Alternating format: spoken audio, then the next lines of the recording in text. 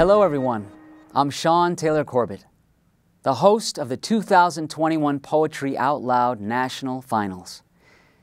Poetry Out Loud is an arts education program that encourages the study of great poetry by offering free educational materials and a dynamic recitation competition for high school students, helping them to master public speaking skills, build self confidence, and learn about literary history and contemporary life. Each year, high school students nationwide participate in the program, memorizing and reciting classic and contemporary poetry and participating in local, regional, and state competitions. From the thousands of students who competed in the 2020 to 2021 school year, 55 finalists, one from each state, the District of Columbia, Puerto Rico, the U.S. Virgin Islands, Guam, and American Samoa, advanced to compete in the Poetry Out Loud National Semifinals. For the first time in the program's 16 year history, the Poetry Out Loud National Competition was held virtually due to COVID 19. On May 2nd, each state champion competed in one of three regional semifinals. The three students who scored highest in each semifinal, a total of nine students, advanced to the national finals competition, which was webcast on May 27th. Those nine finalists were Soojin Park from Alabama, Aiden Reed from Colorado, Alexandra Rose Zaleski from Nebraska, Rahele Megosha from South Dakota, Kendall Grimes from Tennessee, Samuel Elwemano from Texas, Caden A. Hughes from the U.S. Virgin Islands, Irene Hangen Vasquez from Vermont, and Ben Long from West Virginia. For the national finals, each student submitted pre recorded videos of their three poem recitations. Judges gathered virtually to watch the videos and independently score recitations based on the official Poetry Out Loud evaluation criteria. Right now, we'll see one of the national finals recitations from each of the students who scored in the top three after two rounds of competition. First up, representing Tennessee, Kendall Grimes from Battleground Academy.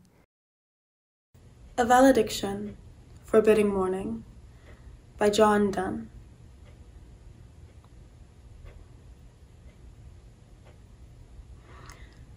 As virtuous men pass mildly away and whisper to their souls to go, whilst some of their sad friends do say, The breath goes now, and some say, No.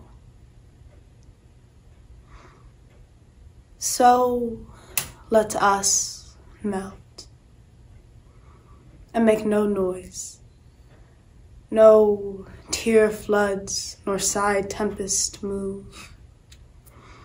Twere profanation of our joys to tell the laity our love. Moving of the earth brings harms and fears. Men reckon what it did and meant. But trepidation of the spheres, though greater far, is innocent. Dull, sublunary lovers' love, whose soul is sense, cannot admit absence, because it doth remove those things which elemented it. But we, thy love so much refined that ourselves know not what it is. Enter assured of the mind, careless eyes, lips, and hands to miss. Our two souls, therefore, which are one, though I must go, endure not yet a breach but an expansion, like gold to airy thinness beat. If they be two, they are two so as stiff twin compasses are two. Thy soul, the fixed foot, makes no show to move, but doth, if the other do. And though it in the centre sit, yet when the other far doth roam, it leans and hearkens after it, and grows erect as that comes home. Such wilt thou be to me, who must, like Thunderfoot, obliquely run. Thy firmness makes my circle just, and makes me end where I begun. Next, representing Alabama, Soojin Park from Auburn High School. The New Colossus by Emma Lazarus. Not like the brazen giant of Greek fame, with conquering limbs astride from land to land. Here, at our sea washed sunset gates, shall stand a mighty woman with a torch whose flame is the imprisoned lightning, and her name, Mother of Exiles. From her beacon hand glows worldwide welcome. Her mild eyes command the air-bridged harbor that twin cities frame. Keep, ancient lands, your storied pomp, cries she, with silent lips. Give me your tired. Your poor. Your huddled masses yearning to breathe free the wretched refuse of your teeming shore. Send these, the homeless, tempest tossed to me. I lift my lamp beside the golden door. Finally, representing South Dakota, Rahele Megosha from Washington High School. Breakfast by Mary Lamb. A dinner party. Coffee, tea, sandwich, or supper all may be in their way pleasant, but to me, not one of these deserves the praise that a welcomer of newborn days, a breakfast, merits. Ever giving a cheerful notice, we are living another day refreshed by sleep, when its festival we keep. Now, although I would not slight those kindly words we use, good night, yet parting words are words of sorrow, and may not vie with sweet good morrow, with which again our friends we greet, when in the breakfast room we meet, at the social table round, listening to the lively sound of those notes which never tire, of urn, or kettle on the fire. Sleepy Robert never hears or urn or a kettle. He appears when all have finished, one by one, dropping off and breakfast done. Yet has he too his own pleasure? His breakfast hour is his hour of leisure. And left alone, he reads or muses, or else in idle mood he uses to sit and watch the venturous fly, where the sugar's piled high, clambering o'er the lumps so white, rocky cliffs of sweet delight. Great job to our top three national finalists. All Poetry Out Loud competitors were judged on six criteria physical presence, voice and articulation, dramatic appropriateness, evidence of understanding, accuracy, and overall performance.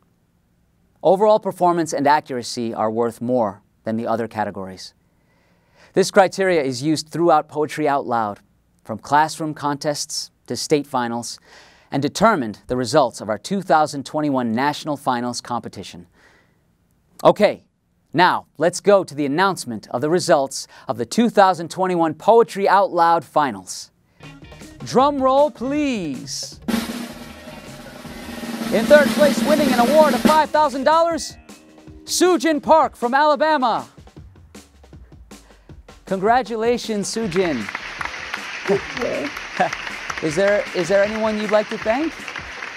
Um, yes, obviously. Um, first part I person I need to thank obviously is my coach. Um, he's got me through three years, and it's been an incredible experience with him. And I honestly think you know this is we put together.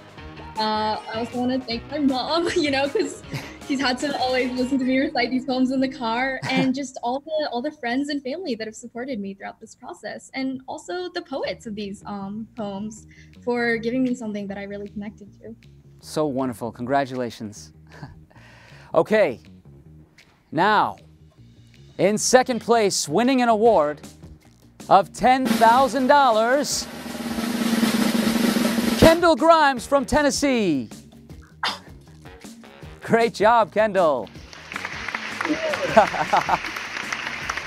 Is there anyone you'd like to thank?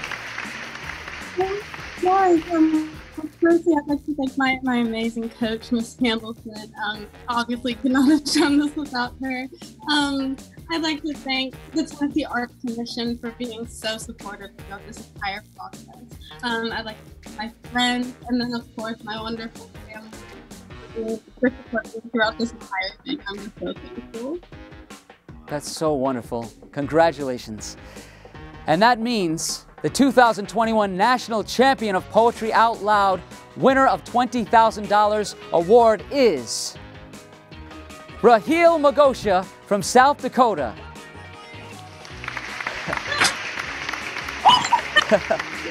Congratulations, Rahele. This is amazing. Is there anyone is there anyone you'd like to thank? Obviously everybody in this room. um, my mom for birthing me, my sister for introducing me to the arts in the first place, my coach for teaching me how to use my voice, and the amazing support that I have out there. Oh my god, I love you guys. This has been crazy. Oh That's so incredible. Congratulations to our new national champion and to everyone who competed in Poetry Out Loud this year. To find out how you can get involved in Poetry Out Loud, visit poetryoutloud.org. Thank you all for watching.